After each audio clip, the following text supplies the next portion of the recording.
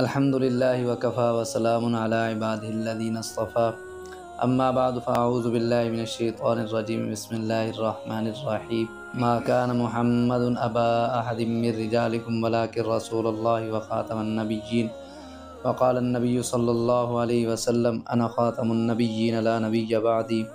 औ कमा क़ाल नबी सल्लल्लाहु अलैहि वसल्लम वो नबियों में नबी ऐसे के इमामुल अम्बिया ठहरे। वो नबियों में नबी ऐसे के इमामबिया ठहरे, हसीनों में हसी ऐसे के महबूब खुदा ठहरे। हज़रत ग्रामी कदर, आज मेरी तकरीर का उनवान है। अक़ीद ख़त्म नबूवत। ख़त्म नबूवत क्या है? इस बारे में आप हजरा ये जहन में रखें कि 1400 साल से उम्मत मुस्लिमा का ये मुतफ़ा अक़ीदा चला आ रहा है कि आप सल्लल्लाहु अलैहि वसल्लम के बाद इस कायनात में कोई नबी, कोई रसूल, कोई पैगंबर पैदा नहीं हो सकेगा। आप सल्लल्लाहु अलैहि वसल्लम का आखिरी नबी होना ये एक ऐसा अटल मसला है कि जिस पर सारी उम्मत मुस्लिमा मुत्तफ़िक है।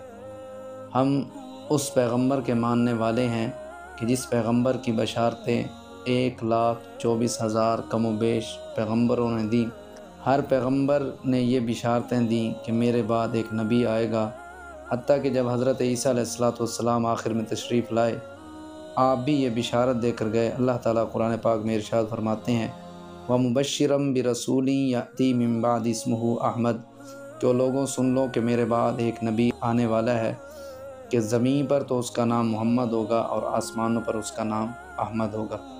हर नबी के बाद नबी आया करते थे। जब हमारे नबी अलैहिस्सलाम तशरीफ़ लाए तो अल्लाह तबारक ताली ने ऐलान कर दिया कि अब क़यामत तो आ सकती है, लेकिन क़्यामत तक कोई और नबी नहीं आ सकता।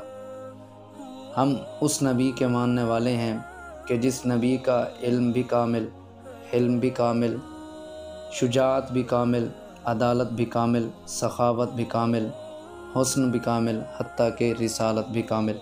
आप नबी भी हैं ख़ातमुलनबीयीन भी हैं, आप रसूल भी हैं ख़ातमुलमरसलीन भी हैं।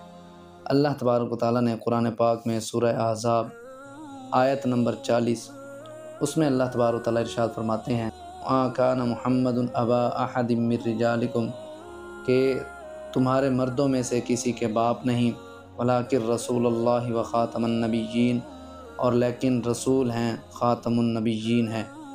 इस आयत मुबारक से कराम का ये मुतफ़ा मसला है इस आयत मुबारक में अल्लाह तबारक व आप अलैहि वसल्लम की ख़त्म नबूबत को साबित करना चाहते हैं। अल्लाह तबारक ताली ने मेरे नबी को ख़त्म नबूबत का ताज अता कर दिया। क़यामत के करीब हज़रत ईसीम तो आएँगे, लेकिन वो नबी बनकर नहीं आएँगे, बल्कि उम्मती बनकर हमारे नबी सलाम का कलमा पढ़ेंगे और हमारे नबी सलाम की नबूबत का ही प्रचार करेंगे। सुनन दारमी की रिवायत है एक मरतबा हज़रत उम्र फ़ारूक रज़ी अल्लाह तु तो रात के औराक पढ़ रहे थे। आका सलाम ने देखा, आप सल्लल्लाहु अलैहि वसल्लम इस कदर गुस्सा हुए कि आका का चेहरा मुबारक सुर्ख हो गया। आका सलाम ने फरमाया उमर, कसम है मुझे उस ज़ात की जिसके कब्ज़ कुदरत में मेरी जान है। आज अगर मूसा सलाम भी इस दुनिया में आ जाएँ तो वो भी मेरी ही इतबा करने लग जाएँगे। और अगर तुम मुझे छोड़कर अगर उनके पीछे चलोगे तो यकीनन गुमराह हो जाओगे। इसी तरह अल्लाह तबारक ताली कुरान पाक में दूसरी जगह बाईसवां पारा, सूरह सबा, आयत नंबर अट्ठाईस, उसमें अल्लाह तबारक ताली फरमाते हैं अरसलना का का फ़तलन्नास बशीर व नज़ीरा। कि हमने इस पैगंबर को किसी ख़ास कौम, किसी ख़ास फ़िरका या किसी ख़ास बस्ती की तरफ़ नहीं भेजा। बल्कि हमने इस नबी सलाम को तमाम की तमाम इंसानियत के लिए नबी बनाकर भेजा है। आप सल्लल्लाहु अलैहि वसल्लम क़यामत तक जितने भी इंसान आने वाले हैं, आ चुके हैं, उन तमाम के आप सल्लल्लाहु अलैहि वसल्लम नबी हैं। इसी तरह सही बुखारी और सही मुस्लिम में हज़रत अबू हुरैर रज़ी अल्लाह तु बयान फरमाते हैं कि रसूलुल्लाह सल्लल्लाहु अलैहि वसल्लम ने फरमाया कि मेरे और दूसरे अम्बिया की मिसाल उस महल जैसी है कि जिसकी इमारत नहायत खूबसूरत और शानदार बनी हो, लेकिन उसमें एक ईंट की जगह छोड़ दी गई हो।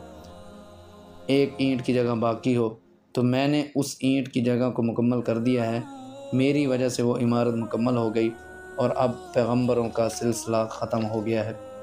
इसी तरह सही मुस्लिम में हज़रत जाबिर बिन सामुरा रज़ी अल्लाह तु बयान फरमाते हैं, मैंने आका सलाम से ये फरमाते हुए सुना, नबी सलाम ने फरमाया इन बिन यद सात कज़ाबीन फ़ाज़रूहम कि ए जाबिर, बेशक क़यामत के नज़दीक झूठे दज्जाल पैदा होंगे, लिहाजा उनसे बच कर रहना। तो अब याद रखिए मिर्ज़ा कादियानी, ये कज़ाबीन तो हो सकता है, ये कज़ाब में तो शुमार हो सकता है, दज्जाल में तो शुमार हो सकता है, लेकिन एक नबी में शुमार नहीं हो सकता। इसी तरह आप हजरात के सामने जाम तिरमिज़ी में एक रिवायत पढ़ते हैं। उस रिवायत में भी मौजूद है कि आका सलाम ने फरमाया इन रिसालत व नबूबत कदिन क़तात फ़ला रसूल अबादी वला नबीया। अकाल सलाम ने फरमाया कि बेशक रिसालत और नबूवत वो तहकीक पक्की बात है, यकीनी बात है, सच्ची बात है कि ख़त्म हो चुकी है। लिहाजा अब मेरे बाद ना तो कोई रसूल आएगा और ना ही कोई नबी आएगा। इसी तरह जाम तिरमिज़ी में एक और रिवायत में अकाल सलाम ने फरमाया, अना ख़ातमनबीन ला नबी आबादी कि मैं आखिरी नबी हूँ, मेरे बाद कोई नबी नहीं आएगा। अब ये आप हजरात को बात समझ लग गई होगी कि अकीदा ख़त्म नबूवत, ये हमारा अकीदा है, हमारा ईमान है, और ये ऐसा ही अहम है, इसको मानना ऐसे ही ज़रूरी है जैसा कि अल्लाह तबार ताली को एक मानना ज़रूरी है जैसा कि दिन में पाँच नमाज़ों को फ़र्ज़ मानना ज़रूरी है जैसा कि ज़क़़त को फ़र्ज़ मानना ज़रूरी है जैसा कि हज जो है ये भी फ़रज़ में शामिल है या इसी तरह जैसा कि और जितने भी फ़रज़ हैं उन फ़रज़ को मानना ज़रूरी है वैसे ही अकीद ख़त्म नबूत का ईमान रखना भी ज़रूरी है।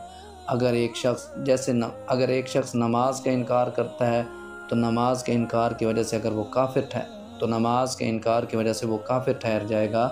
इसी तरह अगर एक शख्स आप सल्लल्लाहु अलैहि वसल्लम के बाद किसी और को नबी मानता है तो ऐसा शख्स भी काफिर होगा, ऐसा शख्स भी दायरे इस्लाम से खारिज होगा।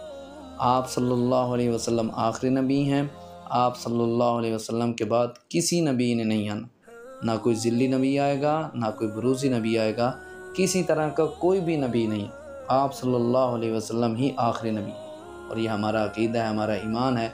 जिस तरह कुरान पाक का इनकार करने वाला काफिर है। वैसे ही इस अकीदे का इनकार करने वाला भी काफिर है। अल्लाह तबार ताली से दुआ है कि अल्लाह तबार ताली मुझे और आप हजरात को अमल करने की तोफ़ी का फरमाए।